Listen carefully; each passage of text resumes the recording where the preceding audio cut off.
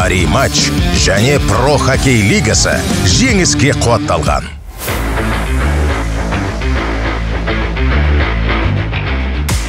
Сарыарқа бейбарыс және екінші ойын алғашқы минуттан сарыарқа өте белсенді болды. Бірінші голды да соққан еді. Э, жылдам шабуылдар ұйымдастыра білді. Борисевич әдеттегідей белсенді және қақпа қар басқан сәт. Осылайша бүгінгі кездесуде соғылған гол. Қайталап көрейік. Бұл жерде алдымен э, алдымен иә эдгар сиксна жасаған соққы және есеп осылайша. Борисевич оң қапталдан және эдгар сиксна және осылай есеп ашылды бүгінгі кездесуде. Қақпашы тосқауыл бола алмады. Тағы да бір осы ракурстан қайталап көруге мүмкіндік бар. Есеп бірден нөл бұл енді бірінші кезеңдегі бірінші гол. Жылдам шабуыл ұйымдастырылды дегенмен бейбарыс ойыншылары бүгін өте лайықты қарсылық көрсете білді. Тоғызыншы нөмірдегі евгений балякин оң қапталдан шабуылға қосылып ұйымдастырылған комбинацияны осылайша түйіндеді. Бұл жерде артем микошин ешқандай әрекет ете алмады. Таразы басын теңестіріп кетті осылайша. Бейбарыс ойыншылары бүгін енді екі команда расымен де терезесі тең ойын өрнегін көрсете білді. Жалпы бірінші кезеңнен бастап өліспей беріспейміз деп бейбарыс ойыншылары сол қапталдан қосылған шабуылды осылайша. Түйіндеген болатын 49 нөмірдегі роман дубинин және артем микушин бұндай жойқын соққыға дайын болмай шықты. Бұл енді 68 нөмірдегі владимир баравковтың жасаған соққысы эдгар сиксна және оң қапталдан қосылған баравков осылайша есепті теңестіріп кетті. Тағы да бір қайталап көрейік.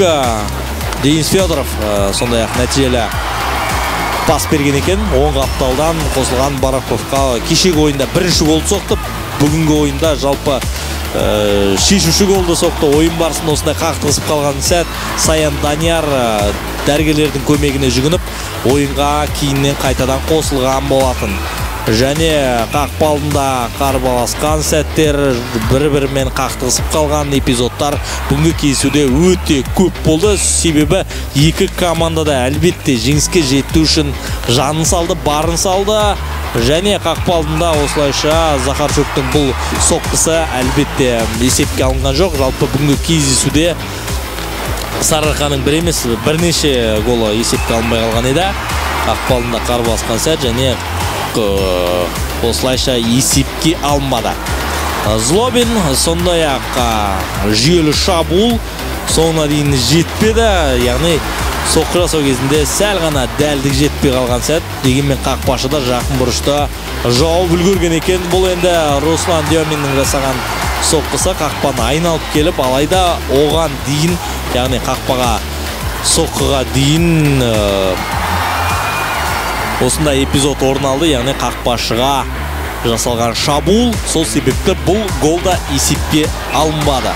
Әлбетте дұрыс төрешінің шешімі бейне бақылауға жүгінген жоқ бірден осындай шешім шығарды да бұл голды есепке алмады.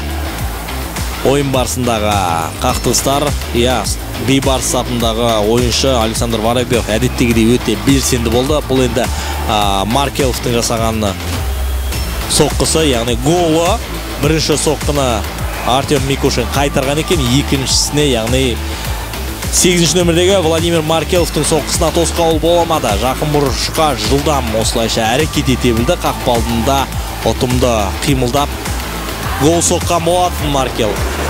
Тағы да бір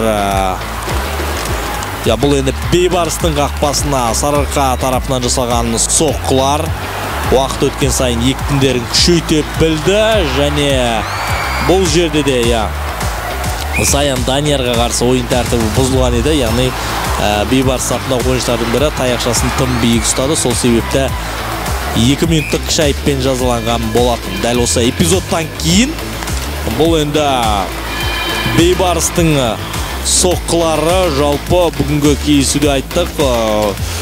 Кешегідей емес еш жеп еңсе тіктей алды. Екінші ойында лайықты қарсылық көрсете білді. Барлық позицияда белсенділік таныта білді исмагилов иә бұл жерде шайбаға талас жүргізді және жейдесіне э, шайба осылайша тұрып қалған екен. Ойынға қайтадан қосты. Бұл э, жалпы бүгінгі кездесудегі э, қайтадан интриганы оралтқан гол десек болатын шығар. Захарчук және антон злобин ортаға қарай анохин болса өте жойқын соққы жасады. Бірақ бұл голды бірден есепке алмай төрешілер бейне бақылауға жүгінді. Себебі қақпашыға қандай да бір шабуыл жасалмады ма деген сынды алайда бейне бақылауға жүгінді. Біздер де бірнеше мәрте қайталап көрдік. Ешқандай да тәртіп бұзылмаған екен.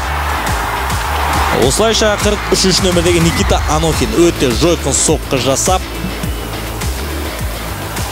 бүгінгі ойынға өз үлесін қосқан болатын. Бүгінгі жеңіске иә төреші есепке алған сәт. Бұдан кейін бірден расулов шабуылға және антон злобин есепті теңестірген саян данияр. Сондай ақ расулов сол қапталдан қосылды. Ал антон злобин есеп теңестірді.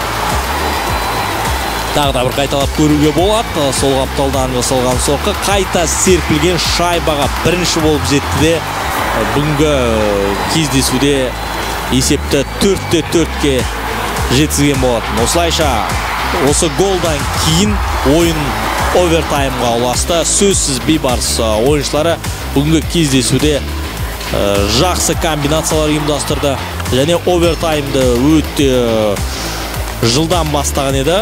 Екі команда ойыншылары және маркеловқа жақсы мүмкіндік болды. Бірге бір шығуға. Алайда қақпашыдан айласын асыра алмады. Осы эпизодтан кейін яғни ивановқа қарсы ойын тәртібі бұзған артем микушин. Сол себепті кем құрамда өнер көрсетті және қақпаны алып тастап нар тәуекел алға қарай ұмтылған бейбарыс командасы осылайша қақпаны бос қалдырды. Алайда жеңіс голын соққан болатын. Бұл жерде 68 нөмірдегі владимир боровков жалпы кеше де гол соқты бүгін де екінші голын соғып жеңіс голын осылайша соқты.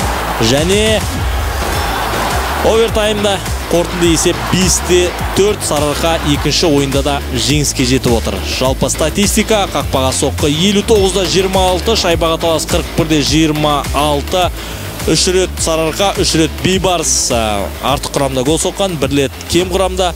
Ал айып уақыты 18-де 21